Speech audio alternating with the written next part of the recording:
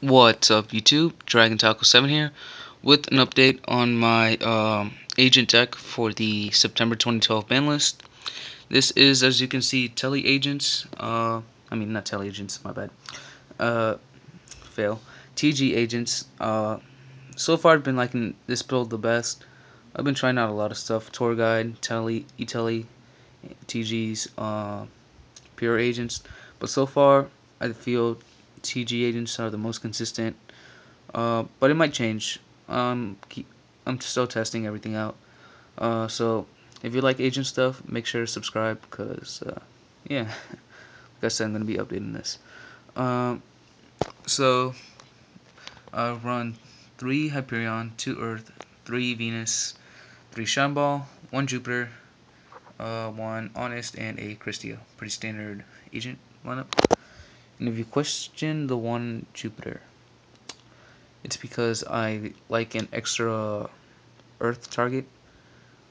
Uh, I feel he's a great beater. He's he's a good one of. Um, he shouldn't be running more than one, but I think you should you should run one.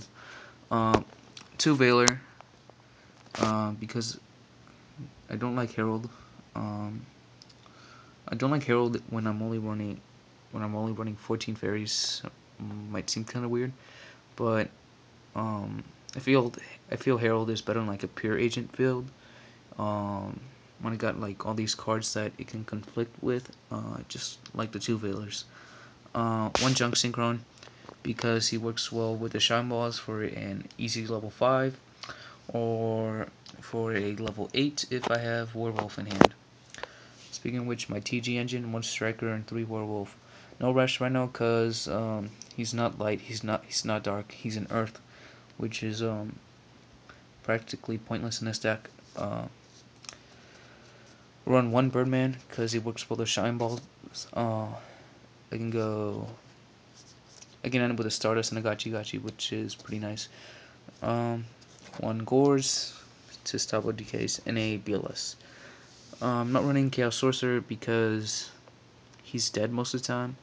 Only run, let's see, one, three, four, four, five, and I guess Birdman, but he gets removed most of the time, so I'm only running five darks, so I don't feel like I can support a Chaos Sorcerer.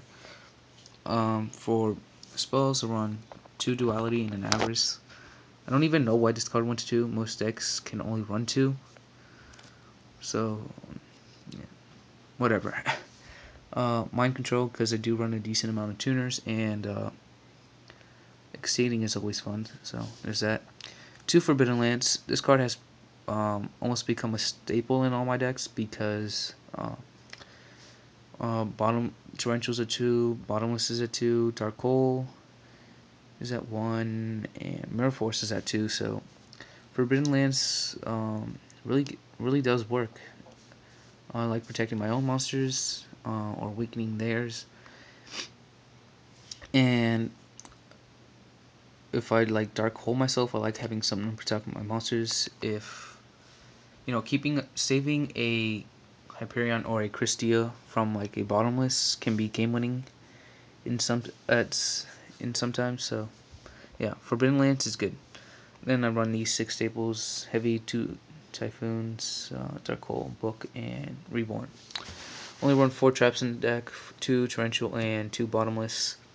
That's all you really need. You don't um, agents support themselves really well. You don't really need traps. So anyway, YouTube, uh, tell me what you think. Uh, like I said in the beginning, this deck might change. This is not my final build. Uh, if you have any suggestions, just leave them down below. And be sure to subscribe because um, if you like agents, subscribe. Till next time, YouTube. See ya.